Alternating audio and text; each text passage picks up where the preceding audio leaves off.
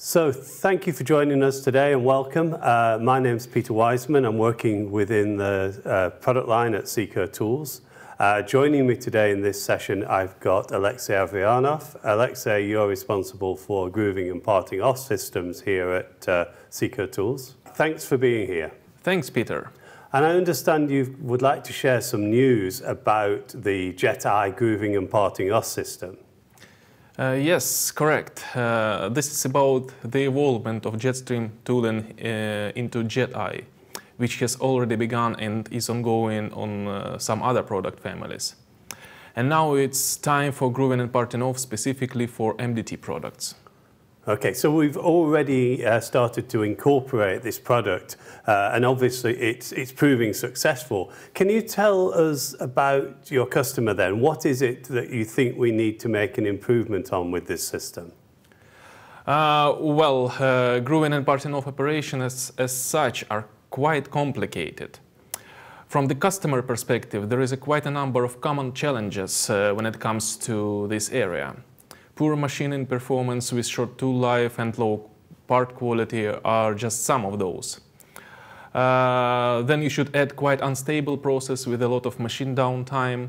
On top of that, customers may experience some troubles when it comes to manipulations with tools, like for example, difficult to change it, connect coolant, etc.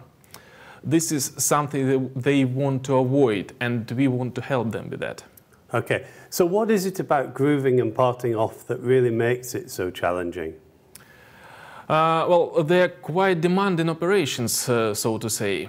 Uh, such tools are supposed to work in rather harsh environments. You can imagine a relatively small tiny insert which with long overhang is supposed to penetrate deep inside of the workpiece material, uh, where you can have uh, high mm, temperature, uh, instability and so on. Uh, on one side, uh, coolant could be a solution, but it's often not so easy for it to reach the cutting zone in such deep cuts. Uh, things get worse uh, with tough materials like, for example, stainless steel. Its low thermal conductivity results in even higher temperatures. Okay, and how are chips typically behaving in this situation? I guess it's quite challenging. Uh, well, sure, uh, chip control is another point of importance here. Uh, with long and difficult to remove chips, new issues appear, at the same time multiplying existing ones. It's one more barrier for coolant to get through when trying to reach the cutting zone. Uh, they cause stretches, scratches on the surface, they affect the tool life and increase machine downtime. You really need to get rid of chips. Okay, so we haven't really touched yet on the handling of the tool. Is there anything that you can say about that? Uh, well, in general, the demand on trouble-free, user-friendly solutions is growing at very fast pace. No one wants to spend a lot of time when it comes to tool change and struggle with extra components which cause interference during machining. Okay, and I guess customers typically are looking to stabilize their process, reduce stoppages, mm. and get the most, get the best out of the machine.